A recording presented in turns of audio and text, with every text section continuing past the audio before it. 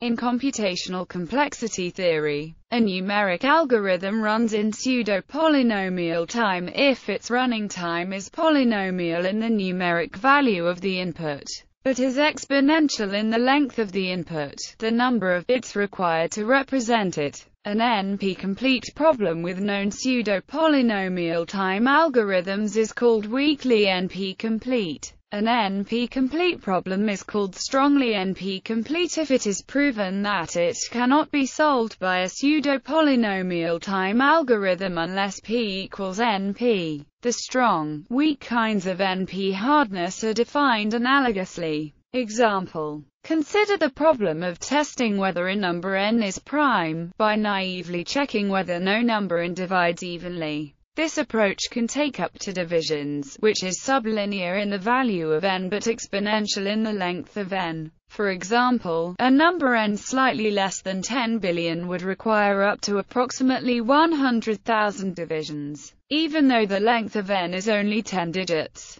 Moreover one can easily write down an input for which this algorithm is impractical, since computational complexity measures difficulty with respect to the length of the input. This naive algorithm is actually exponential. It is, however, pseudo-polynomial time. Contrast this algorithm with a true polynomial numeric algorithm, say, the straightforward algorithm for addition. Adding two nine-digit numbers takes around nine simple steps, and in general the algorithm is truly linear in the length of the input.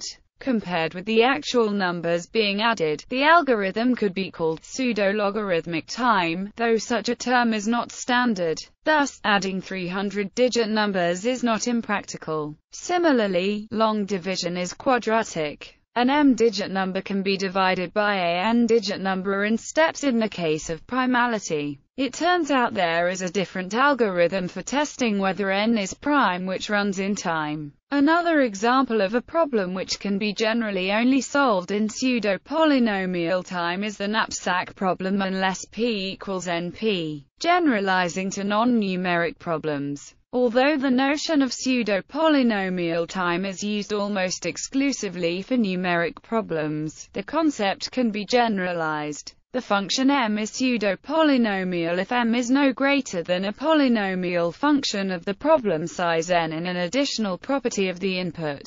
This makes numeric polynomial problems a special case by taking k to be the number of digits of the input. The distinction between the value of a number and its length is one of encoding. If numeric inputs are always encoded in unary, then pseudo-polynomial would coincide with polynomial.